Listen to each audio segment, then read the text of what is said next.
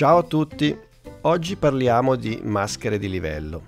Le maschere di livello rispetto alle maschere semplici sono un modo alternativo per ritagliare i livelli e in certe situazioni sono sicuramente più efficienti delle maschere semplici.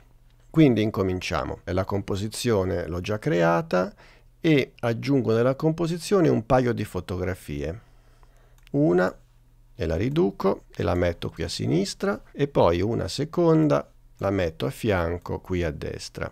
Uso due fotografie perché voglio mettere un po' a confronto i due modi per mascherare i livelli. Sulla prima fotografia, cioè questa di sinistra, applico una maschera semplice come quelle che abbiamo usato nelle lezioni precedenti. Quindi seleziono la foto, vado a scegliere una forma per mascherare il livello e scelgo una forma ellittica e poi disegno un'ellisse, in questo caso intorno al volto del personaggio. E ho creato una maschera semplice direttamente sul livello. Qui nella timeline la vediamo, si chiama mask 1. Adesso disattivo tutti i livelli, quindi clicco in uno spazio vuoto della timeline, niente più selezionato e disegno separatamente dalle fotografie uno shape layer a forma ellittica. Quindi prendo di nuovo l'ellisse e disegno un'ellisse qua sopra la seconda fotografia, più o meno in corrispondenza del volto del secondo personaggio. Bene, quindi ho un livello a parte che è uno shape layer. Adesso io voglio utilizzare questo livello per ritagliare la seconda fotografia e per fare questo devo fare in modo che l'ellisse come livello si trovi appena sopra la fotografia che voglio ritagliare. La fotografia è questa, Ingrid Berman, sopra la fotografia c'è il livello, quindi è già nella posizione giusta. A questo punto, nella timeline, a fianco al nome del livello, nella parte degli strumenti della timeline faccio in modo che compaia la colonna track matte, questa qui.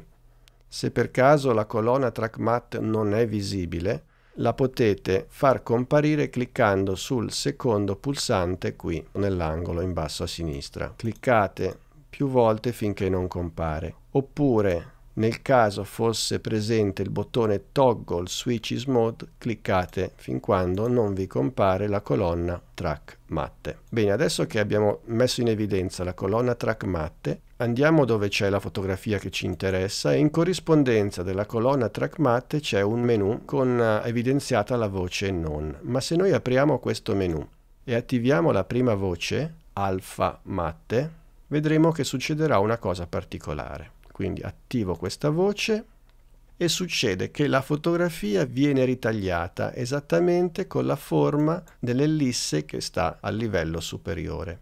Ora qui nella timeline l'ellisse è spento. Se andiamo a vedere l'occhio qui a sinistra del livello ellisse, l'occhio è spento e infatti io non lo vedo più ma la fotografia che sta al livello sottostante usa l'ellisse che sta sopra come maschera. Questa relazione particolare fra i due livelli, fra la fotografia e l'ellisse, è stata creata appunto quando ho attivato questa voce alfa matte. Due livelli che sono collegati da questa relazione particolare si riconoscono dal fatto che a fianco ai nomi a sinistra ci sono questi due simboli. La fotografia che è ritagliata ha un simbolo con un pallino nero, mentre l'ellisse che viene usato come maschera ha un simbolo con un pallino bianco. Quindi tra i due c'è una relazione particolare. La fotografia si fa ritagliare dal livello che sta sopra. Adesso chiudo il livello dello shape layer per avere più spazio. È importante che l'oggetto che ritaglia la fotografia si trovi proprio sopra la fotografia. Se io per esempio lo prendo, lo shape layer, e lo sposto in un altro livello, al livello più basso per esempio, adesso la fotografia, non trovando più niente sopra di sé, non è più ritagliata, è tornata tutta intera e quindi per poter ritagliare devo riportare lo shape layer sopra la fotografia.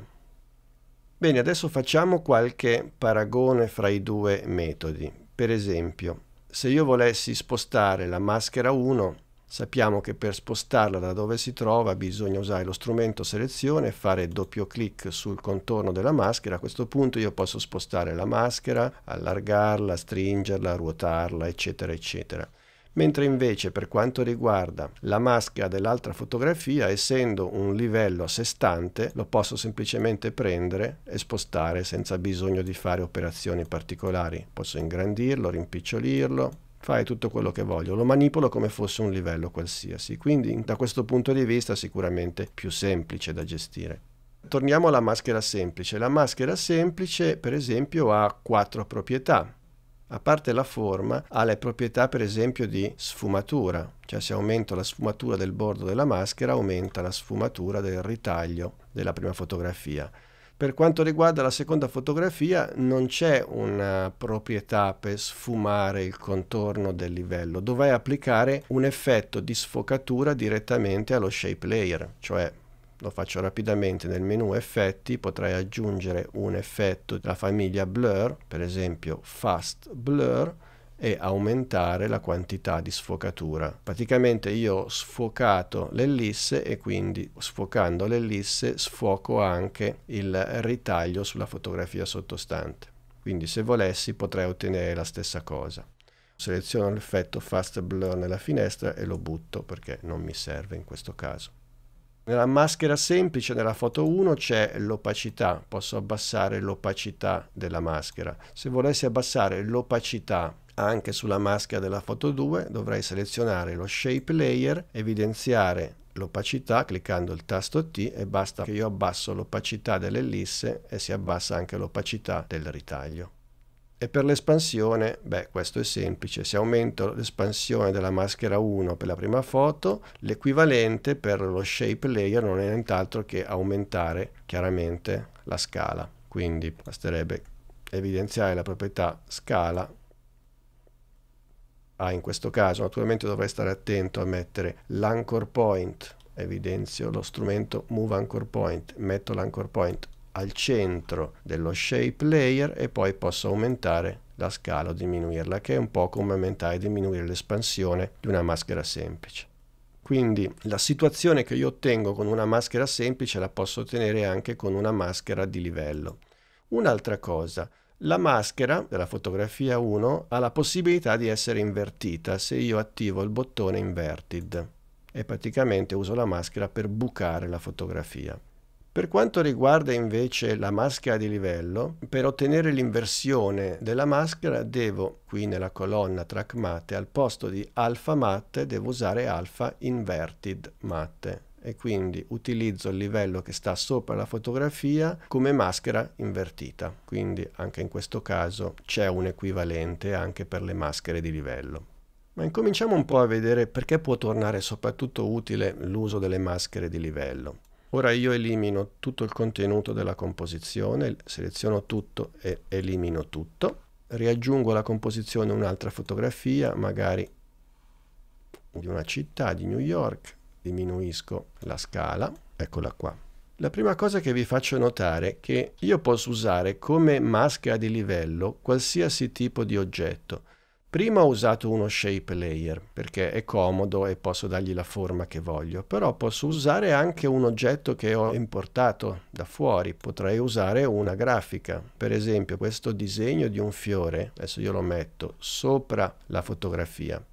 Alla fotografia attivo di nuovo la voce alfa matte e che cosa è successo? Che la fotografia viene ritagliata dall'oggetto che sta sopra. Io vedo la fotografia lì dove il disegno esiste e dove il disegno è trasparente anche la fotografia diventa trasparente. Ok, adesso disattivo di nuovo la maschera di livello nella fotografia e elimino il disegno del fiore. Adesso creo un nuovo livello con lo strumento testo. Quindi scrivo un testo, per esempio motion graphics. Lo riposiziono sopra la fotografia magari lo ingrandisco un po' di più.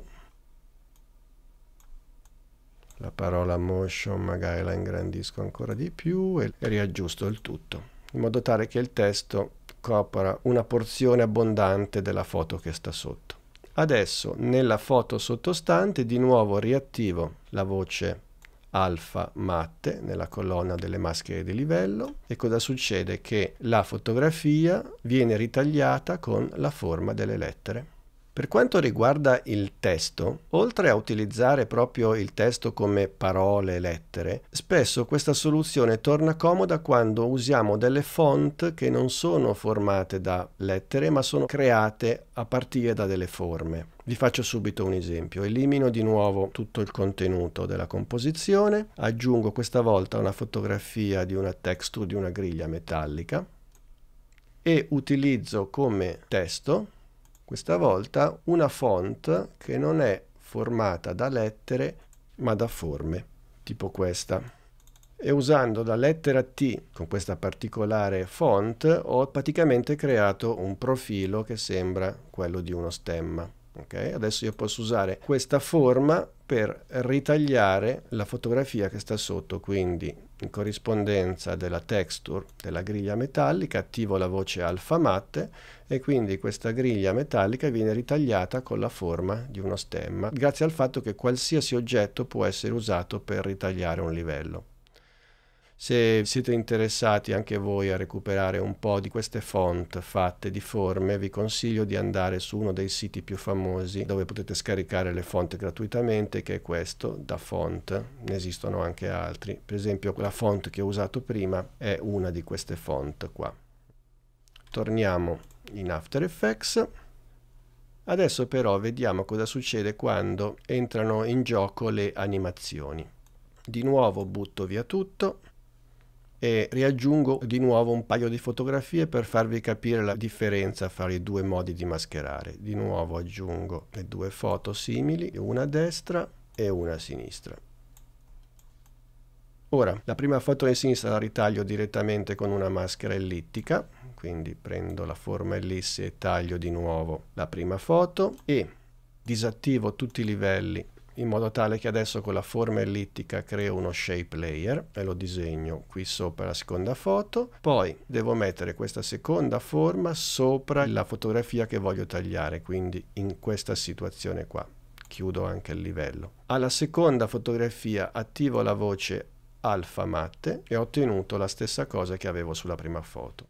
Adesso sulla prima fotografia faccio un'animazione sulla scala quindi la seleziono, clicco il tasto S per evidenziare la proprietà scala e voglio che al tempo 0 la scala sia un filo più piccola, così. Accendo l'orologio e dopo un secondo voglio che la fotografia sia un po' più grande, quindi un piccolo zoom, diciamo così. Faccio una preview e questo è il risultato. La fotografia e il ritaglio insieme si ingrandiscono.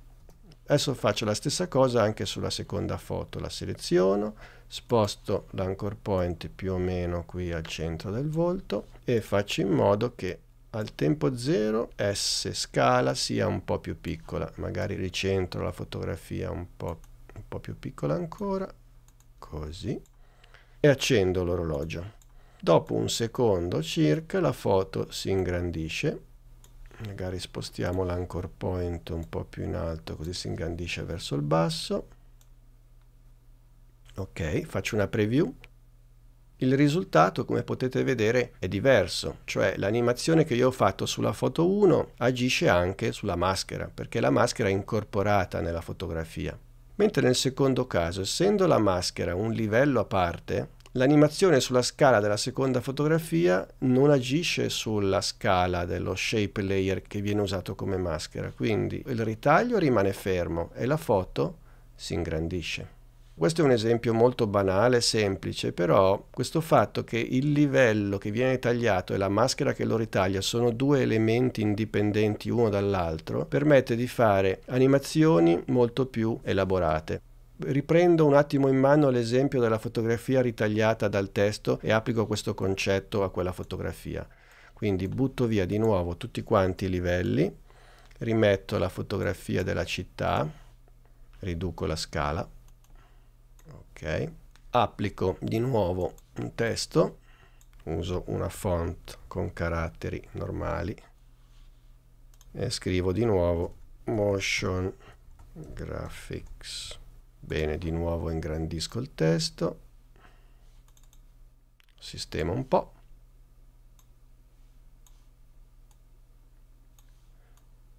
e attivo la maschera di livello per la fotografia. Seleziono la foto, nella colonna track matte attivo la voce alfa matte. Bene, adesso questa volta faccio un'animazione sulla scritta e in questo caso sulla posizione, quindi seleziono la scritta, clicco il tasto P e voglio che al tempo 0 la scritta sia fuori dall'inquadratura a destra. Bene, accendo l'orologio e dopo 3 secondi sposto la fotografia fuori dalla parte opposta.